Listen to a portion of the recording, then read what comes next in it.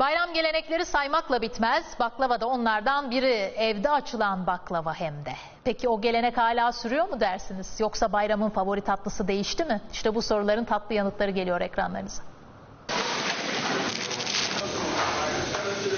Bu bayramın tatlısı ne olacak? Baklava. Baklava. Baklava olacak. Neyli baklava? Cevizli. İsmini bilmiyorum ama. Bayram deyince aklına gelir tabii ki bir tepsi dolusu baklava.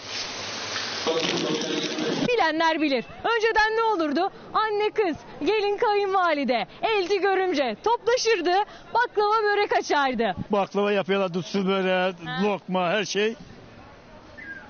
Peki bu gelenek hala devam ediyor mu dersiniz? Sizce evinde kaç kişi baklava açıyor? Eskiden açıyordu şimdi açmıyor. Hazır kullanıyoruz. Allah'a şükür benim gelinim çok iyi. Parayı veren baklavayı yiyor. Gelin de rahat, kaynana da rahat, damat da rahat. Herkes rahat. Anne. Efendim anne? Baklava yapar mısın? Tamam yaparım. yalan söylüyorsunuz. Biraz yalan. Artık evde insanlar pek uğraşmıyor. Ne yapıyorlar? Yani e, bizden alıyorlar daha iyi oluyor. Şimdiki her şey hazır. Üşeniyor herkes. Hanım evde baklava aç. Hanım yaşlandı.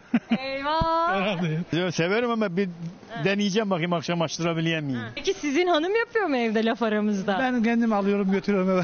Siz getirmeseniz yapar mı evde? Yapar. Emin misiniz? E, Pek de emin değilim aslında ama. Ne aldınız? Tatlı? Kıyma bilmem şeyler aldım. Bayram, bayram tatlısı deyince aklınıza baklava mı geliyor trileçe mi? Triliçe geliyor. Bundan 10 yıl önce sorsaydınız baklava derdim. Her yere gittiğimizde baklava veriyorlar bize. Bıktım hani değiştirsinler başka bir şeyle. Baklavadan bakılır mı hiç? Görünen o ki yeni nesil işin kolayını bulmuş. Artık bırakın evde baklava yapmayı sipariş veriyorlar. Bakın dükkanların dışında baklava siparişi alınır yazıyor. Artık ve hatta şunu da söylemekte fayda var. Baklavanın papucu dama atıldı atılacak.